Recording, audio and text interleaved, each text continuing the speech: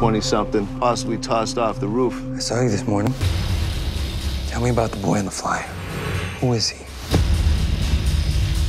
I want you to dream with me. I still hear my son. It's like someone's hiding him from me. Topeka, what is it? If you could invade dreams, then you'd have answers to all your questions.